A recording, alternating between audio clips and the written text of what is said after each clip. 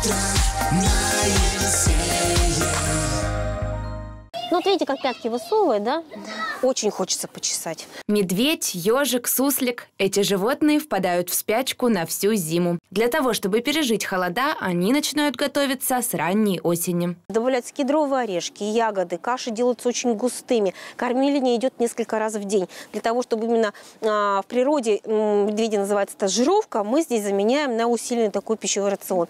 Благодаря этому мишки нагуливают жир и затем готовим берлоги. Берлоги у нас располагаются в каждом вольерном комплексе. Там выстилается большой слой соломы, сено для того, чтобы медведи, когда уже залегали в спячку, благополучно могли, не вставая, а, обеспечивать себе такую комфортную кровать. Работники зоопарка только помогают косолапым. Основную же работу выполняет природа. Так устроено, что даже маленькие медвежата всегда знают, как им подготовиться к холодам. Есть и те, кто зиму любит и чувствует себя комфортно даже при минусовых температурах. Вот, например, белая медведица, которую в Роев ручей недавно доставили из Норильска.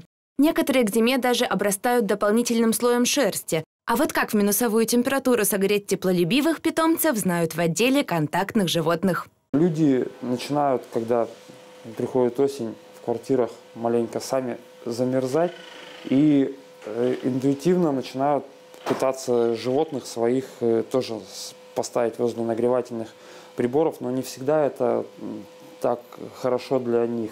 Так, например, шиншиллам, им, в принципе, температура свыше 22 градусов как бы может навредить. Э, Дегу и морские свинки тоже температуры повышенные не, не очень хорошо переносят.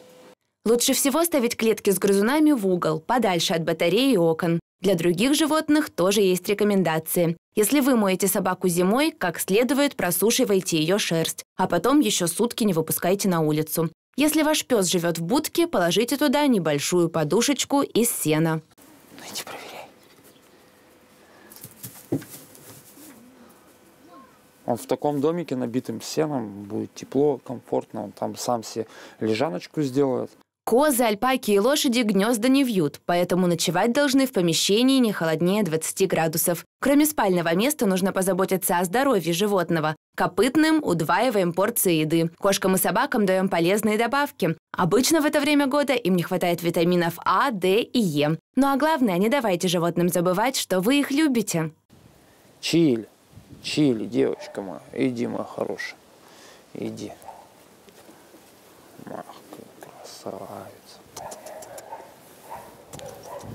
Тоже утепляются и готовятся к зиме Софья Лупинина и Денис Шабанов.